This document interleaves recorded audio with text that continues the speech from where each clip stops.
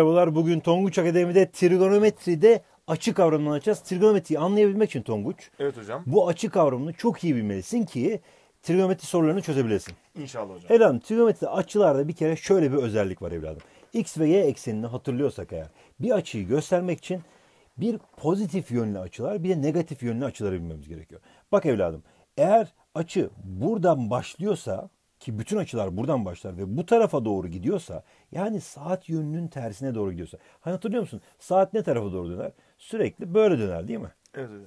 Bu saat yönü demek. Bunun tersine doğru hareket edersen saat yönünün tersine. Saat yönünün tersine gidiyorsa bu pozitif açı oluyor. Yani ters bir şey trigonometri açılar. Eğer tam tersine saat yönünde dönersen Tonguç'cum bu da negatif yönlü açı oluyor. Aa. O zaman sana şimdi 30 dereceyi sorsam. 30 derece deyince aklımıza şu gelecek Tonguç.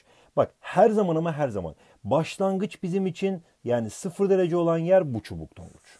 Her zaman bütün açılar buradan başlar. Tamamdır hocam. Bak 30 dereceyi göstermek için bir kere artı 30 olduğundan dolayı bu tarafa doğru dönmem gerekiyor değil mi? Evet. Kaç derece döneceğim? Buradan başlıyorum. Bak burası her zaman neydi? Başlangıç. Başlangıç. Buradan başlıyorum ve 30 derece dönüyorum. 30 derece gittikten sonra duruyorum ve ne yapıyorum Tonguç'cum? Bunun çubuğunu çiziyorum Tonguç. İşte 30 dereceyi göstermek için ne kullanacakmışım?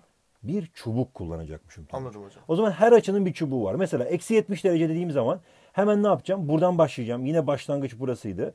Bu sefer eksi yönde yani saat yönünde 70 derece gideceğim. Ve 70 derece gittikten sonra bunun çubuğunu çizeceğim Tonguç. O zaman ne yazacağım bunun ucuna da? Eksi 70 derece yazacağım Tonguç. Anladım hocam. Bak eksi 150 dereceyi göstermek istesek. Bu yönde gideceğim. Bu yönde 100 bak buraya kadar geldiğim zaman 90 oluyor. Birazcık daha gitmem gerekiyor. 150'ye tamamlamak için buraya geliyorum Tonguç'um. Bak şunu da unutma. Burası 0 derece ya Tonguç. Bu üstteki açı 90 derece. Evet Çünkü hocam. burayla burasında 90 derece var. Burası 180 derece. Burası da 270 derece evladım. O zaman 0, 90, 180, 270 sonra tekrar nereye geldik? 360. Yani 0 dereceye tekrar geri döndük. O zaman başlangıç ve bitiş arasında aynı noktada oluyorlar ve ikisi de e, başlangıç noktasına geliyor. Yani Anladım. 0 ve e, 360 derece bir arada diyebiliriz. 150 dereceyi gösterdik. 150 derecenin ucuna hemen 150 derece diye çubuğunu yazıyorum Tonguç'um. Anlaştık mı? Anlaştık Ama eksi 150 derece. Şimdi 320 dereceye baktığımız zaman Tonguç'um buradan başlıyorum bu sefer. Böyle dön 90, 180, 270, 320 buraya geliyorum. Demek ki bu çubuk bizim için 320 derecede Tonguç. O zaman bütün açıları göstermeyi çok iyi bilmelisin. Bununla ilgili pratik yapmalısın Tonguç. Tamamdır hocam. Şimdi dereceden radyan denilen bir olay var. Bir de radyan dediğimiz zımbırtı Tonguç'um şu. Radyatör gibi bir şey mi hocam? Efendim radyan radyatör değil. Radyan e, mesela 270 derece yazıyor ya. Bazen sorularda mutlaka karşılaşmıştır. Mesela 2 pi bölü 3 diye bir şey yazıyor tamam mı? Hayda. Ya bunu ben nereden bulayım değil mi? Pi ne ya? Hocam. Bilim adamları bile bulamıyor. Yıllardır böyle. Saçmalama. ya. Niye olamasın? Bak bunu biz buna dönüştürmeye çalışacağız. Nasıl dönüştürüyoruz? Çok basit bir formül var. Derece bölü 180 radyan bölü pi. O zaman 270 derece değil ya sana. Hemen 270 bölü 180 eşittir. Bunu arıyoruz. Radyanını arıyoruz. X bölü pi diyorsun Tonguç. İşte bu kadar. Aa, çok kolaymış ya. Ondan sonra x'i bulabilmek için ne yapacağız? Pi'yi karşıya göndereceğiz. Bunları sadeleştiriyorum. Bunları sadeleştirirsem zaten 9'lar. 3 bölü 2 olur. Pi'yi de karşılasam yukarıya geçer Tonguç. O zaman 3 pi bölü 2 bizim için 270 dereceye denkmiş. Anladım. Yani ben bunu pi'li bir şekilde yazabiliyorum. Üç- 135'i de aynı şekilde yapabiliyorum. Bunu da bu sefer farklı bir yolla yapacağım. Bir kere şunu unutmamasın Tonguç. Pi dediğimiz açı her zaman 180 dereceye eşittir Tonguç. Anladık mı? Anladım hocam. O zaman bak pi 180 derece ise 135 derece kaç pi'dir? Aa, doğru orantı. Bu daha basit bir şey. Bununla nasıl yapıyoruz? Bununla bunu çarpıyorsun, bununla bunu çarpıyorsun. O zaman x çarpı 180 eşittir pi çarpı 135. Ondan sonra her iki tarafı 180'e bölüyorsun ki x'i bulalım. Aynen. Patara putara. O zaman x dediğimiz açı aslında 135 ile sadeleşince 45'e sadeleşir 3. 3 pi bölü 4 çıkıyor Tonguç'um. Anladım hocam. Mesela 300 dereceyi bulmak istesek hemen ne yapıyoruz? Pi 180 derece ise 300 derece kaç pi'dir? Anlaştık mı Tonguç? Anlaştık hocam. Hemen ne yapıyoruz? 180 ile x'i çarpıyoruz. Pi ile de 300'ü. x çarpı 180 300 çarpı pi diyorum. Her iki tarafı 180'e bölüyorum ki x yalnız kalsın. Cevabımız e, bu 3 katı bu da 5 katı 5 pi bölü 3 çıkıyor Tonguç. Anlaştık mı? anladım. Zor açıları da çevirmeyi öğrendik. Şimdi peki radyandan derece bu çok daha basit. Aa. Bu inanılmaz basit. Ne yapıyorsun biliyor musun? Pi 180 diye Tonguç. Hemen 5 çarpı 180 yazıyorsun. Çünkü pi 180 dereceydi aslında. Böyle 12 yazıyorsun. İşte bu kadar. Anladım hocam. Şimdi bununla bunu sadeleştiriyoruz. İşte 15 oluyor. 15 çarpı 5 75 derece çıkıyor. Mesela burada aynı şey yapalım. 7 çarpı 180 bölü 10 yazıyorum. Bununla bu sadeleşti zaten. 7 çarpı 18 70 126 çıkıyor. Anlaştık mı Tonguç? Anlaştık hocam. Bir tane daha yapalım son olarak. 3 çarpı 180 bölü 8 diyorum. Bununla bunu sadeleştiriyorum. Kaçta sadeleşir ya? 4 ile 45 2 kalır. 135 bölü 2 yani 67,5 çıkıyor- çıkıyor. Anlaştık mı öyle? Anlaştık hocam. O zaman esas ölçüsüne bakıyoruz. Bak bu çok önemli Tonguç. Ayakkabı ölçüsü mü hocam? Şöyle düşün bak Tonguç'um. Ben sana desem ki 470 derece. Hayda diyeceksin değil mi? Hayda. 470 dereceyi gönder- göstermek istediğim zaman böyle bir dönecek bak. Dön dön dön dön. bir tam- 360. Bir de birazcık daha gitmem gerekiyor. Evet. Şimdi evladım ben hangi derece, hangi açı o zaman? Bunu bulabilen şu açıyı bulabilmek için şöyle bir şey yapmam gerekiyor. 470'in 360'a bölümünü bulmam gerekiyor. Ve kalan açı bizim esas ölçümüz oluyor. O Anladım. zaman hemen yapalım mı? 470'i 360'a böldüm. Bir kere var. 360. 110 kaldı. O zaman esas ölçüsü 110 dereceymiş. Doğru. Çünkü o bir tur zaten boşa dönmüş oldu. Evet bir tur boşu boşuna dönüyor manyak gibi. Mesela çok terbiyesiz değil mi Tony? Aynen hocam ya. Neden yorulmuyorsun değil mi? Hocam çok güzel anlatıyorsunuz. Yumuşak takılıyorum bu ders. Sakinleştirici aldım sinirlenmeyin diye. Babam dedi Dersten ki, önce diyorsun. dersten önce sakinleştirici aldık trigonometriden önce dedi. Sakinleşirsin. Trigonometri ağır bir ders değil mi? Ağır bir ders hocam. Sakinleştirici sayesinde şu an sizi sakin sakin dinliyorum. Her şeyi anlıyorum hocam. Çok mutluyum Çok iyisin Hayatımın gerçekten. en güzel dakikalarını yaşıyorum sayenizde. Tabii ilacı dayadın tabii kendine. Aynen hocam. çok mutluyum. 540'ı 360'a bölüyorum bir kere. 360 kalan 180 çıkıyor. O zaman bizim açımız 180 derece. Bu sefer Tonguç'um, bu sefer Tonguç'um. Ya bu çok küçük bir açı olmuş. 1720 derece diyelim. Of, 1720 öyle bir açı olmaz ki hocam. 1720'yi 360'a bölersem Tonguç e, toplam 1080 1400 4 kere var 1440 çıkıyor Tonguç tamam mı? Çıkartıyorum evladım 8 e, 7 2 280 derece çıkıyor anlaştık mı? Tonguç? Aslında 1720 derece bak bir kere ne yapıyorsun? Bir kere dönüyorsun. Bir kere daha 360, dönüyorsun. Bir kere daha 640. dönüyorsun. Bir kere daha dönüyorsun. Şimdi 120. hipnotize ediyorum seni evladım. Hatır, görüyor musun? Uyudum evladım. Pardon uyudum. Bak, hipnotize oldun değil mi? Bu kadar dönüyorsun ama boşlu boşuna dönüyorsun. Aslında İşsizlik. 280 derece dönsen esas ölçüsü buymuş. Anladım hocam. Şimdi mesela eksi 3420 demiş hayda diyeceksin. Bu Burada soruları boş bırakıyorum hayır lan çok basit bir yöntem var. Eksiyi ilk başta unutuyorsun Tonguç. Sadece 3420'ye göre bakıyorsun. 3420'yi ne yapıyorsun Tonguç'um? 360'a bölüyorum. 360'a bölüyorsun. 9 kere var. E, 9 kere bölersek 3600, 3240 çıkıyor. Tamam mı Tonguç? Çıkardım. 3600, evet 3240. Çıkardım evladım. 0, 8, e, 1, 180 kaldı Tonguç. Ondan sonra Esas ölçüm 180. ama eksi 180. Hayda. Hani eksiyi tutmuştuk ya burada. Evet, evet, Şimdi evet. yerine koyuyoruz. Hatırlıyorum şimdi. Eksi 180'i ise pozitif açıya çevirmek için çok basit bir yöntem var Tonguç. Herhangi bir eksi açıyı pozitif açıya çevirmek istiyorsan 360 ekliyorsun. Eksi 180 artı 360 cevabımız 180 derece. Yani herhangi bir negatif bir açıyı, negatif bir açıyı normal bir açıya çevirmek için ne yapıyormuşuz? 360 ekliyoruz. 360 ekliyoruz. Bu da çok önemli bir yöntem. Eksi 2015.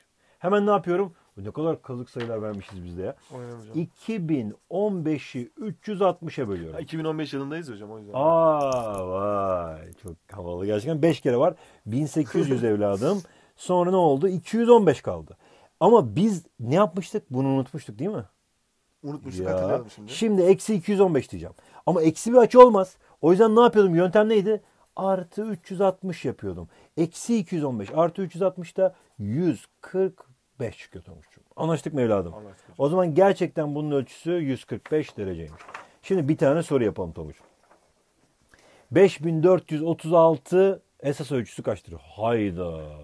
Boş bırakıyorum hocam. Hayır evladım çok basit. 5436'yı 360'a böldük. Ee, 15 kere var galiba. Evet 15 kere var. 5400 çıkıyor Tonguç. 36 derece. Bu kadar basit. Mesela 7215. 7215'i 360'a böldük Tonguç. 20 kere var 7200. Gördün mü? 15. Çok iyi. Bu kadar kekmiş işte. Bölmeyi bilsek yapacağız yani. Evet bölmeyi yapabilirsen her şeyi yaparsın. Şimdi evladım ama bu açılar bak bu açılarda esas ölçü bulmak için bir yöntem var. Ha, neymiş yöntem? Mesela bunun esas ölçüsünü bulmak için yöntemimiz şu Tonguç'um. Paydasına bakıyorsun. Bunun paydası kaç Tonguç? 3. Mükemmel. Bu paydasını bak paydayı alıyorsun Tonguç. 2 ile çarpıyorsun Tonguç. Kaç eder? 6. 6 eder. Sonra 64'ü 6'ya bölüyorsun Tonguç. Hayda. Hayda. 10 kare 60. 4 kaldı değil mi? Evet. O zaman cevabımız diyorsun bu 64 iptal oluyor. 4 pi bölü 3 diyorsun evladım. Bu aynen kalıyor. Bu aynen kalıyor. 64 yerine ne kal diyordu? Hani kalanı yazıyorduk değil mi? 4 yazıyorduk. İşte bu kadar. Mesela bunu sen yap bakalım. Hadi bakalım. Şimdi Önce 4'ü 2 ile çarpıyorum. 4'ü 2 ile çarpıyoruz. 8. 8 çıktı Tonguç. 27'yi 8'e Sonrasında bölüyorum. 27'yi 8'e böldük. 3, 24, 3 kaldı Tonguç. Sonrasında cevabımız ne olacak Tonguç'um?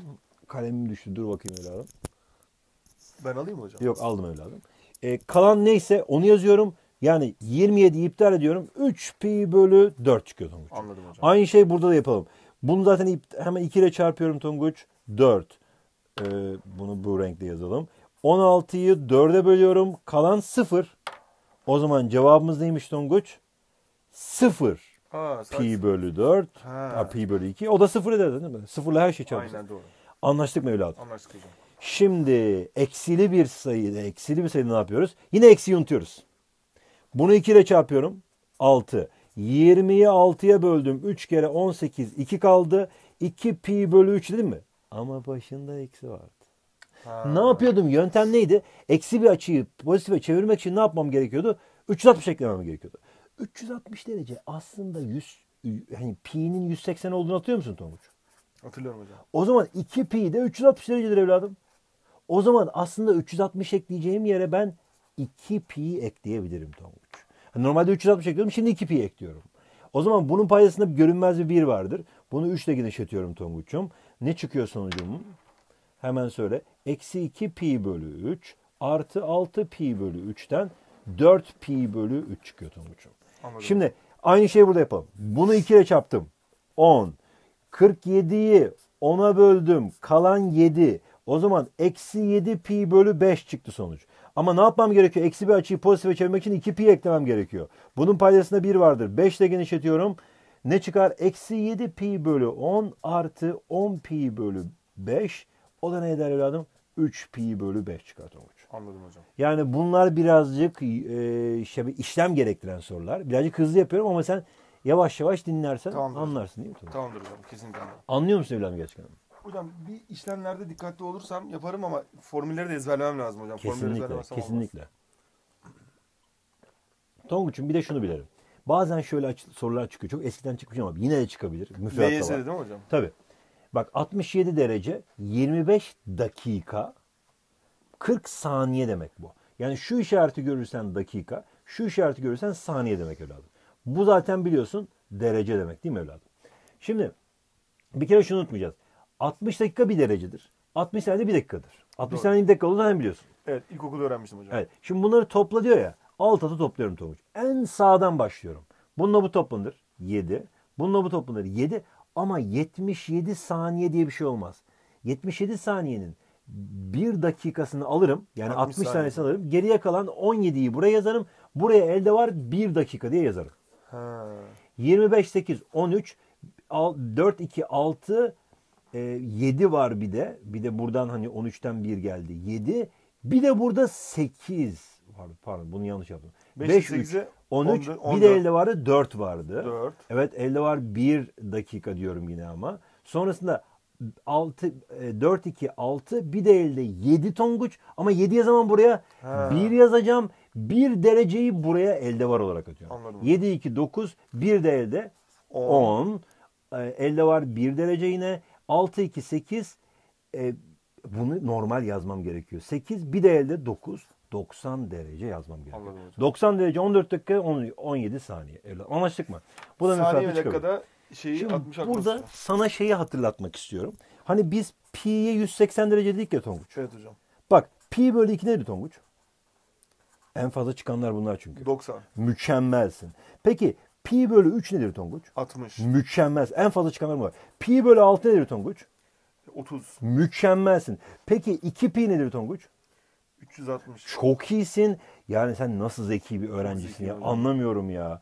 Gerçekten. Peki 3 pi bölü 2 de en çok çıkandır Tonguç. 3 pi Bak bunu bir ikiye böl. 720 bölü Bu hayır hiç ona geçme. Ona hiç ona girme. Bak 180'i bir ilk başta 2'ye böl. 90. 90. 9 kere 3 27 270. Ha. Yani bölmeyi ilk başta yap tamam mı? Daha kolay olsun. O zaman ödüllü sorumuzu yap cevapları gönder bakalım. Tamamdır hocam.